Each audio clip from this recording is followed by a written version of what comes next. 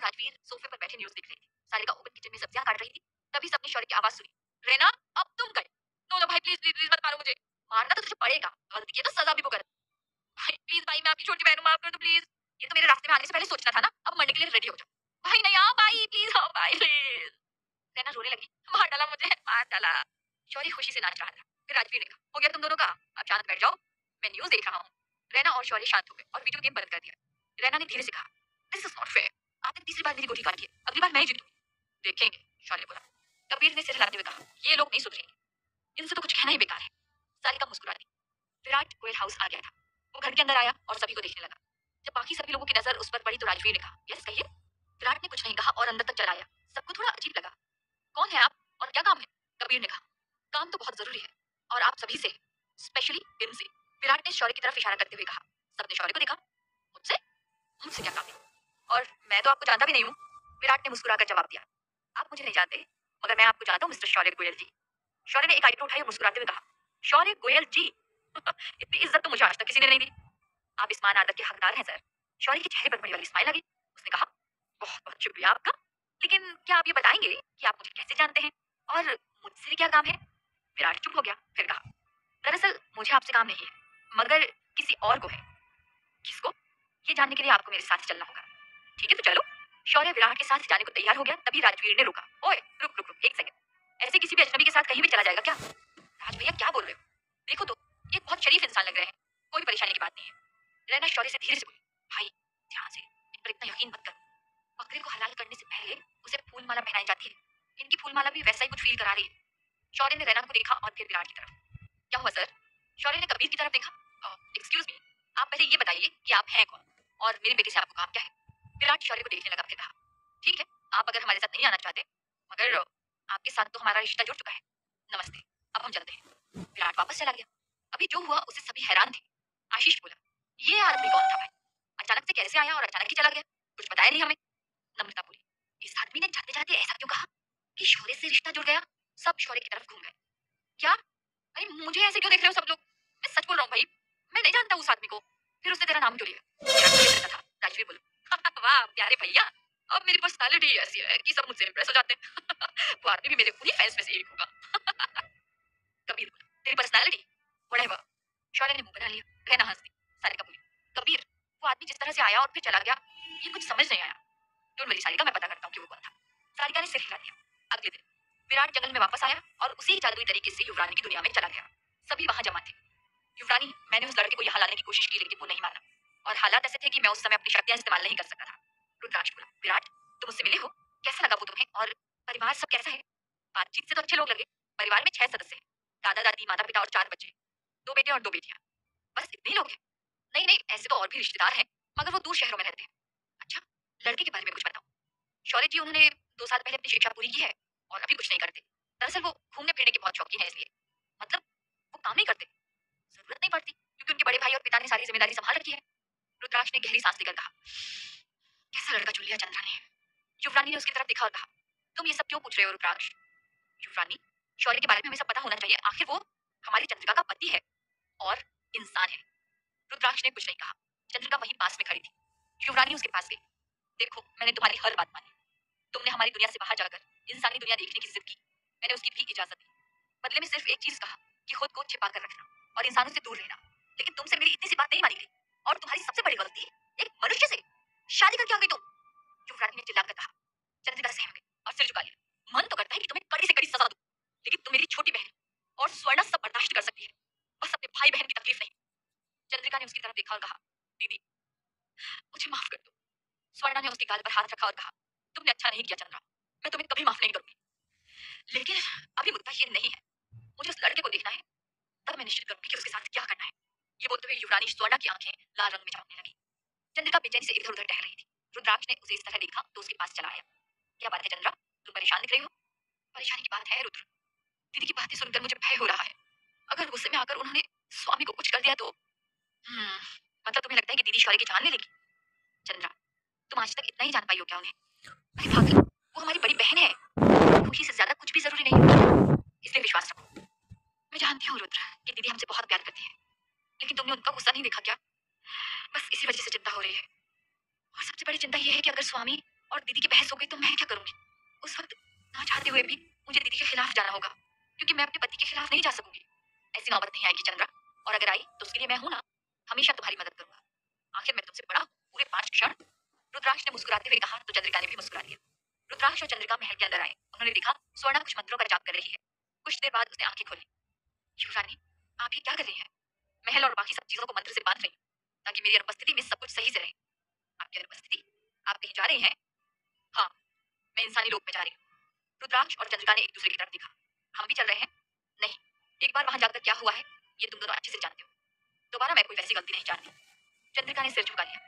मगर युवरानी, आप शौर्य के पास जा रही हैं और बिना चंद्रिका को लिए नहीं जा सकती। मेरा मतलब ये उसकी पत्नी है तो इसका आना ज़रूरी है। चंद्रिका आस लगाकर स्वर्णा को देख रही थी। मगर स्वर्णा ने सीधा जवाब दे दिया, कोई ज़रूरत नहीं है इसके साथ चलने की। मैं इसके पति को यही लेकर आ रही हूँ। स्वर्णा चली गई और उसके पीछे विराट भी चला गया। चंद्रिका ने लगभग रोते हुए कहा, दीदी, उन्हें जीवित लाना है। रुद्राक्ष को हँसी आ गई, मगर उसने रोक लिया और अपनी बहन का कंधा थपथपा दिया। चंद्रिका ने रुद्राक्ष की तरफ़ देखा और कहा, रुद्र, कुछ करो, मुझे दीदी के साथ जाना है। वो दोनों महल के बाहर आए। दीदी, सुनो! स्वर्णा चलते चलते रुक गई और पलट गई।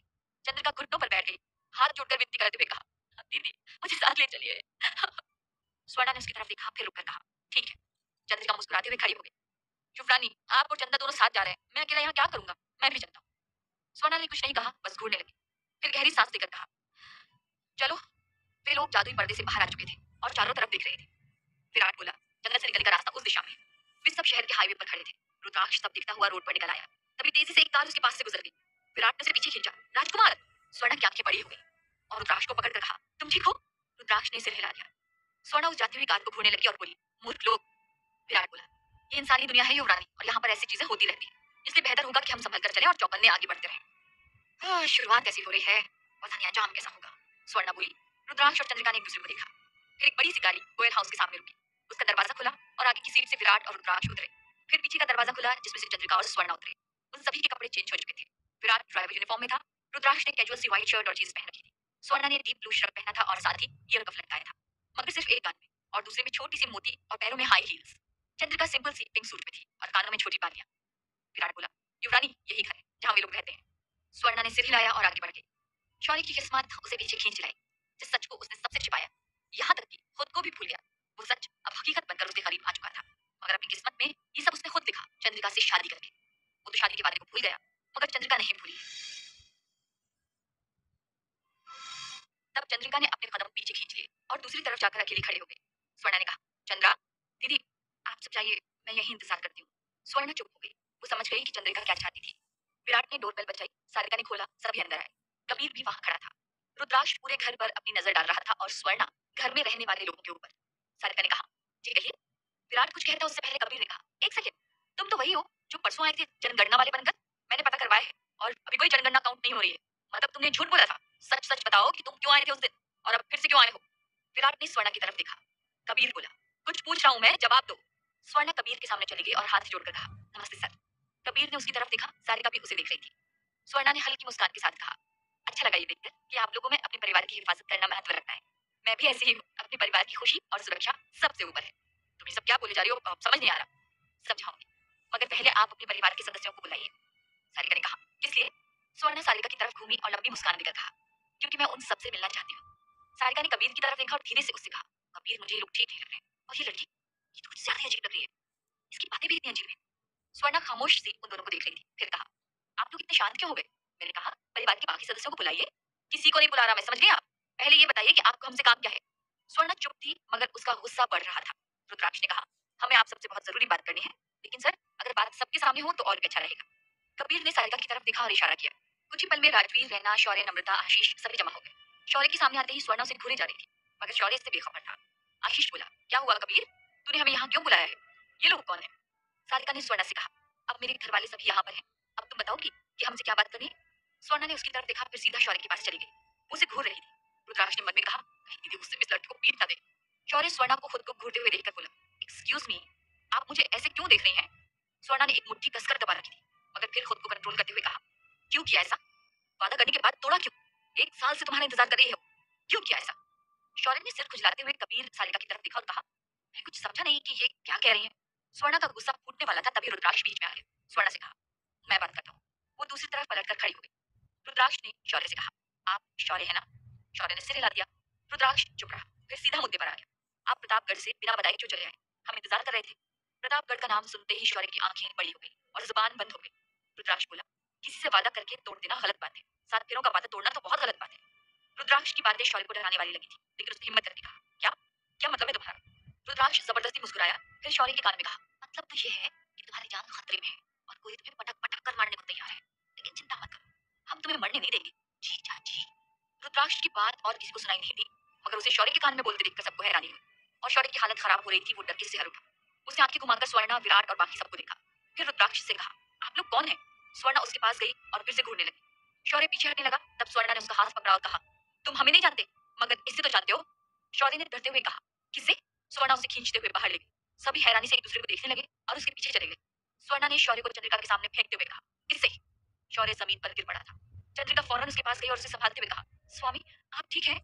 वो स्वर्णा की तरफ़ मुड़ी और कहा, आपने इन्हें धक्का क्यों दिया? चोट लग जाती तो? तब तक बाकी सब भी वहाँ पहुँच चुके थे।